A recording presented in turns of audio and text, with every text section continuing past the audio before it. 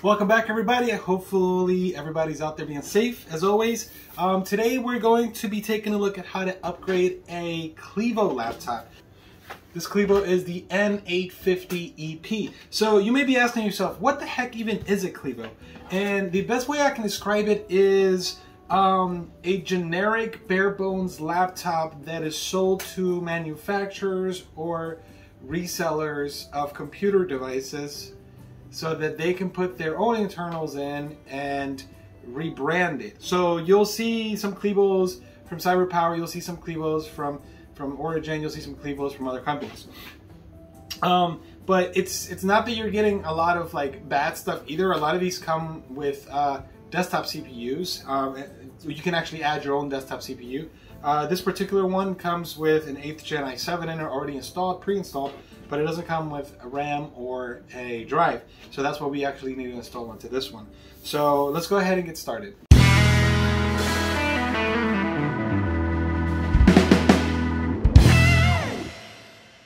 All right, so these uh, Clevos are actually made to be pretty easy to work on. Um, we're gonna go ahead and just turn this one around like that. We're gonna unlock the the uh, the battery here, so that's gonna be th this way. Has a little unlock symbol, and then this one unlocks it again, and then we just lift up like this. Very easy. Um, now we're gonna take off one, two, three, and screws from the back here. These are like the little silver screws.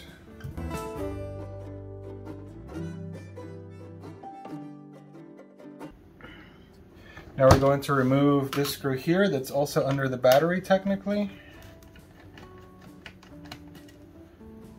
A long screw.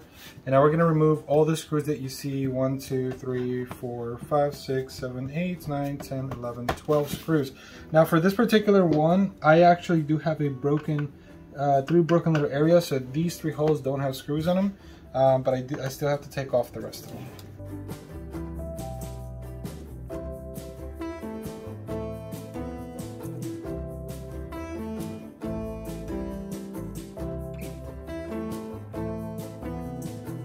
Now we're going to go ahead and lift it this way, and we're going to start prying from the front with our uh, spudger or pick just like that. Let's see if I can get, okay. And we'll work our way around, around the front there. Let's make sure I didn't miss a screw. I think I'm fine. Work our way around the other side. And once you get it loose enough, we can do the wiggle wiggle wiggle, wiggle, wiggle, and it should pop right off. Here's the inside of it, and I'll turn it like if you were looking at it yourself. Uh, we have the two RAM slots here. We have a slot for a hard drive if you wanted to install a hard drive. And we have our slot for our NVMe SSD. So we're gonna be installing the RAM today and we'll be installing the NVMe. So let's turn this back around. Actually, I'll do it, I'll do it this way so you can see it a little bit better. And let's start with the RAM. For this system, we are just going to install 2 by 8 um, gig sticks, so 16 total, 8 and 8. Um, you go ahead and just pop the first one in like this. Make sure you match the notch with the notch, or the, uh, the gap with the notch, just like that. Goes in easily, take one finger, and then just go boop, and it comes right out. If you have to take these back out, make sure you use the levers on the left and the right here and just pull away from them from, from each other like that. And it'll just pop right back up and then you just pull out. All right so put it in easily. Use one finger. Put it in. We're going to do the same thing with this one. We're to put it in at an angle like this. See how it sits at an angle? All right now we're going to push it down and it'll clip on its own. Next thing is going to be installing the NVMe so we're going to take this screw out right there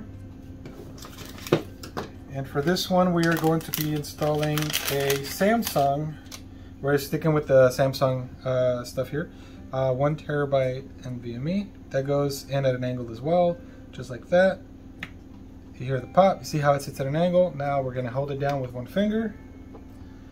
Take our screwdriver with the screw back on there. As we hold it down, we're going to screw in the screw.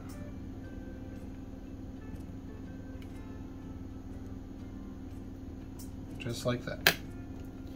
Okay, for today's uh, for today, we're not going to be installing a hard drive, so um, we're not going to cover that part. But so that's it for the upgrade. Now we're going to go ahead and put it back together. Make sure that all your clips are attached. So I just kind of just put it put it evenly out like this, and then I'll go ahead around and start clipping in my clips.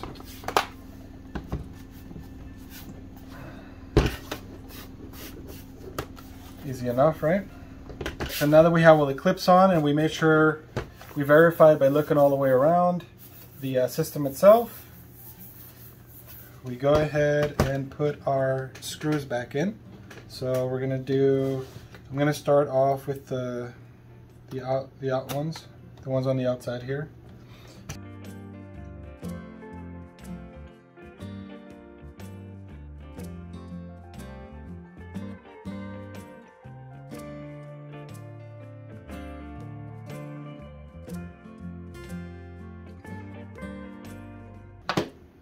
All right, let's put our battery back on.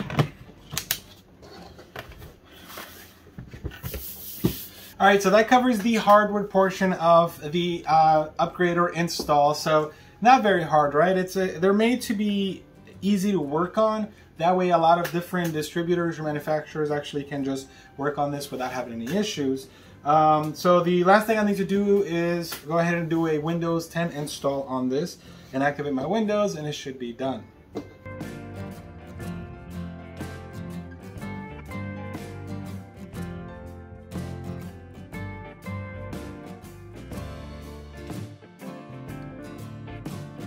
Alright, well I hope this video was very helpful to you guys out there. If you have this model, um, I hope it uh, showed you how to upgrade or install your own uh, um, hardware. So I don't know if you can buy these bare bones. I think they only sell them to like bigger companies, but you might be able to check these out. You might be able to find some of these with different branding like on Amazon or or from different manufacturers. So um, anyways, if this was helpful, make sure you hit that subscribe button. Make sure you hit that like button. Make sure you share it because it could help somebody else out there. Uh, until the next video, I'll see you. Take care.